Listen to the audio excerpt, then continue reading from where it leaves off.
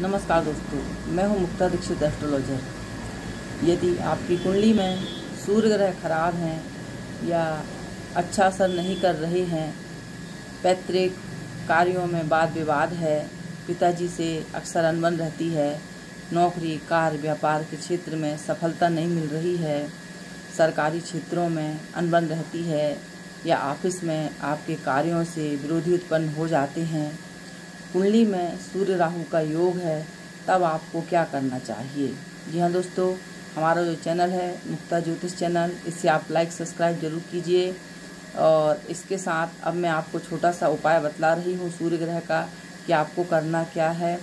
तो जी हाँ दोस्तों, सूर्य जो रहते हैं, आत्मा के कारक होते हैं और पिता के कारक होते हैं।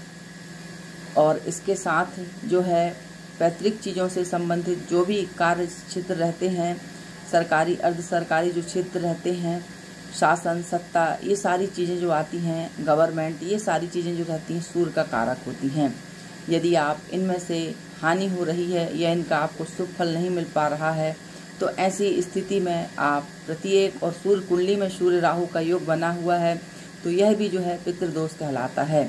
इस दोष को शांत करने के लिए, सूर्य ग्रह को बलवान करने के लिए नित्य ही आप जो है, तांबे के लोटे में, जल में थोड़ा सा गुड़ डाल करके ओम घृणी आदित्य सूर्याय नमः, इस मंत्र का जाप करने से जो है, सूर्य राहु का योग बना हुआ है तो यह ग्रहण योग का जो है, प्रभाव जो है दूर होता है, और इसके साथ जब भी आप कहीं बाहर जाते हैं तो अपने बड़े बुज़ुर्गों का आशीर्वाद ज़रूर प्राप्त करें। अपने बड़े बुज़ुर्गों की सेवा करें।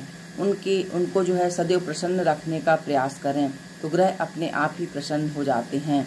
इसके साथ जब भी आप सोकर उठते हैं तो कृपया सूर्य उदय के पहले ही सोकर उठें तो यह आपके भाग्य और कार्यों के लिए जो है पावरफुल उपाय रहेगा। तो जी हाँ दोस्तों, वीडियो अच्छी लगे, लाइक शेयर सब्सक्राइब ज़रूर कीजिए। धन्यवाद।